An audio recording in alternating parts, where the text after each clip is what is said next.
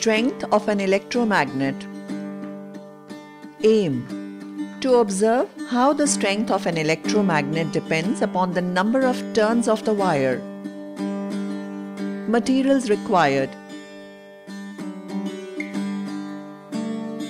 10 cm long 3 iron bolts or iron nails, enameled copper wire 5 meter, a battery of 2 cells, a simple switch, shoe nails or paper clips, plastic pipe of about 10 centimeters.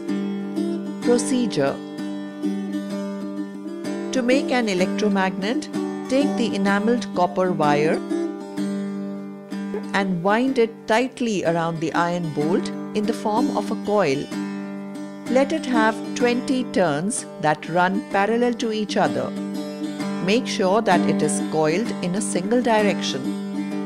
Make two more electromagnets with 40 and 60 turns. Rub the free ends of the wires of each electromagnet with the sandpaper to remove the enamel coating. Connect the electromagnet with 20 turns to a battery of two cells through a switch. You can make a switch using two drawing pins and a safety pin fixed on a thermocol in such a way that the safety pin can be rotated freely.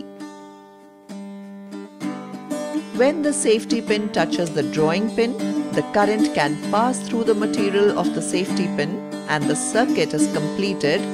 The switch in this case is set to be in on position. On the other hand, when there is a gap between the two drawing pins, the circuit is not complete and the switch is set to be off. Place some shoe nails or paper clips near the end of the bolt. Switch on the current and bring the bolt closer to the nails. Count the number of nails attracted by this electromagnet. Switch off the current. Observe that the coil loses most of its magnetism, though a few nails or paper clips may still cling to the electromagnet. Caution! Do not switch on the current for more than a minute at a time as it will get hot and will drain the battery very quickly. Repeat this activity with other electromagnets of 40 and 60 turns.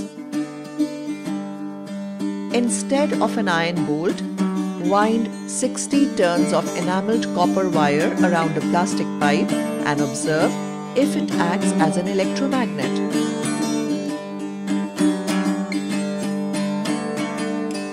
Count the number of nails attracted by it. Observations The coil here behaves like a magnet when electric current flows through it when the electric current is switched off, the coil generally loses its magnetism. That is, the steel pins or nails no longer cling to the iron bolt. Such coils that can be turned on or off are called electromagnets.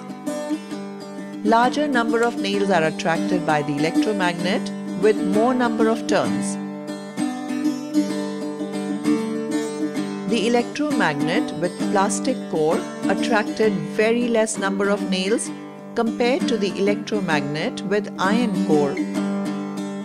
Conclusion An electromagnet can be made by wrapping a wire around a piece of iron and passing current through it. The strength of an electromagnet depends upon the number of turns of the wire and the core used to make the electromagnet.